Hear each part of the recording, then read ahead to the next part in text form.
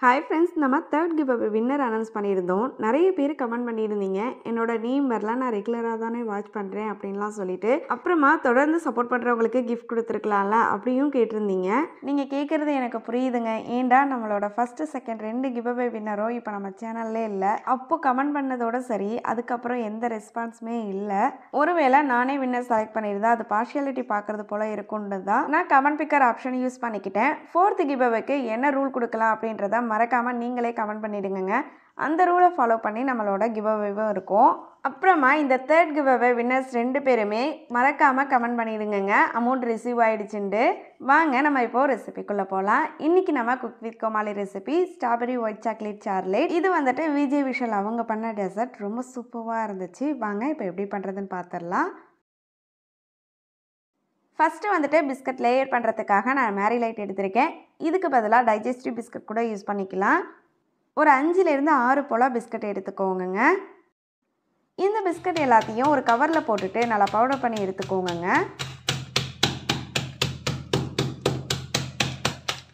இது போல் நல்லா பவுடர் பண்ணதுக்கப்புறமா இது எல்லாத்தையும் எடுத்து அப்படியே ஒரு பவுலுக்கு மாற்றிக்கோங்க அடுத்து கொஞ்சமாக வெண்ணெயை சூடு பண்ணிவிட்டு அதை பிஸ்கட்டில் சேர்த்து நல்லா கலந்துக்கோங்க. கொஞ்சம் கொஞ்சமாக சேர்த்து நல்லா மிக்ஸ் பண்ணிக்கோங்க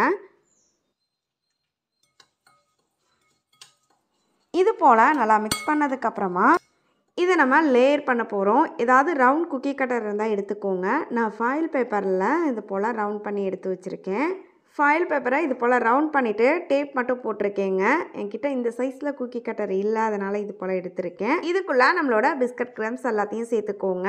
ஒரு ஸ்பூன் அப்படி இல்லைனா ஸ்பேச்சலாக யூஸ் பண்ணி இந்த பிஸ்கட் க்ரம்ஸை நல்லா ப்ரெஸ் பண்ணிக்கோங்க. ஈவனாக இருக்கிறது போல். பாருங்கங்க நான் ஓரளவு ஈவனாகவே இதை ப்ரெஸ் பண்ணிட்டேன். இதை அப்படியே எடுத்துகிட்டு போயிட்டு நம்ம ஃப்ரிட்ஜில் வச்சிடலாம். செட் ஆகட்டும். அடுத்து ஒரு பவுலில் நான் கொஞ்சமாக விப்டு க்ரீம் எடுத்திருக்கேங்க. க்ரீமை ஃபஸ்ட்டு நல்லா நம்ம பீட் பண்ணிக்கலாங்க.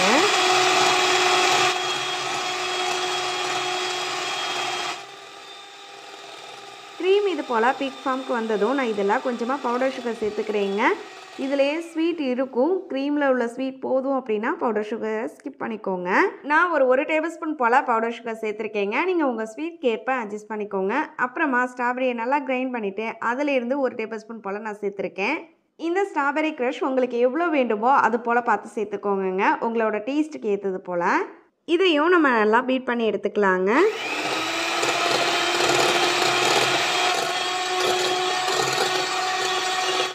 அப்புறமா இது கூடவே ஒயிட் சாக்லேட்டை மெல்ட் பண்ணி சேர்த்துக்கோங்க நான் ஃபஸ்ட்டே சேர்க்க மறந்துட்டேன். உங்களுக்கு எவ்வளோ வேணுமோ அது போல் சேர்த்துக்கோங்க. நான் ஒரு ரெண்டு டேபிள் ஸ்பூன் போல் மட்டும் சேர்த்துருக்கேன். ஒயிட் சாக்லேட்டும் சேர்த்து நல்லா பீட் பண்ணி இது போல் எடுத்துக்கலாம். பாருங்கள் க்ரீம் நல்லா ஸ்டிஃபிக்கு வந்துருச்சு. நான் இன்றைக்கி ஜெலட்டின் எதுவும் யூஸ் பண்ணலைங்க. க்ரீமோட ஸ்டிஃபே எனக்கு போதுன்றதுனால க்ரீம் பாருங்கள் பபுல்லேருந்து கொஞ்சம் கூட கீழே விடுகவே இல்லை. இப்போது நம்ம ஃப்ரிட்ஜில் வச்சுருந்த பிஸ்கட் லேயரை வெளியில் எடுத்துகிட்டு வந்துக்கலாங்க. இதோட சைட்ஸ்லலாம் ஸ்ட்ராபெரியை ஸ்லைஸ் பண்ணி அரேஞ்ச் பண்ணிக்கோங்க. சென்டரில் நம்மளோட க்ரீம் அழகாக ஃபில் பண்ணிக்கலாங்க. இதுக்கு மேலே சென்டரில் ஒரு ஸ்ட்ராபெரி வச்சுட்டு இதை எப்படி எடுத்துகிட்டு போயிட்டு ஃப்ரிட்ஜில் வச்சுருங்க. நல்லா செட் ஆகட்டும். கொஞ்ச நேரத்தில் நல்லா இது போல் செட் ஆகியிருக்கும். இப்போது வெளியில் எடுத்துகிட்டு வந்துட்டு இது சைடில் உள்ள அந்த ஃபாயில் பேப்பரை நம்ம அழகாக பொறுமையாக எடுத்துக்கலாங்க.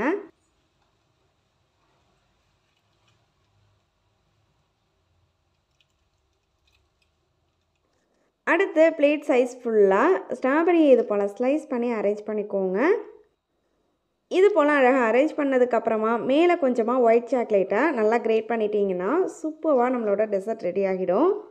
பாருங்கள் பார்க்கவே ரொம்ப சூப்பராக இருக்குல்ல? டேஸ்ட் வைஸும் ரொம்பவே சூப்பராக இருந்தது. நீங்களும் கண்டிப்பாக ட்ரை பண்ணி பாருங்கள் வீடியோ பிடிச்சிருந்தா மறக்காமல் நம்ம சேனலை சப்ஸ்கிரைப் பண்ணி கூடவே வீடியோக்கு ஒரு லைக்கும் கொடுத்துருங்க மறந்துடாமல் கிவ்அவேக்கு என்ன ரூல் கொடுக்கலாம் அப்படின்றதையும் கமெண்ட் பண்ணுங்க ஃபோர்த்து கிவ்அவேயோட ரூல் நீங்கள் கொடுக்கறது தான் இருக்க போகுது. எனக்கு சப்போர்ட் பண்ணுறவங்களுக்கு குட்டியாக ஒரு கிஃப்ட் கொடுக்கறதுக்காக தான் இந்த கிவ்அவேவே ஸ்டார்ட் பண்ணியிருந்தோம். ப்ளீஸ்ங்க என்ன ரூல் கொடுக்கலாம் அப்படின்றத கமெண்ட் பண்ணுங்கள் அப்புறமா வின்னர் செலக்ட் ஆகிட்டாங்கன்னா அவங்க யாருமே கமெண்ட் பண்ணவே மாட்டீங்கங்க. ப்ளீஸ்ங்க தொடர்ந்து சப்போர்ட் பண்ணுங்கள் எனக்கு சப்போர்ட் பண்ணுறவங்களுக்கு தான் இந்த கிஃப்ட்டே நான் கொடுக்குறேன்.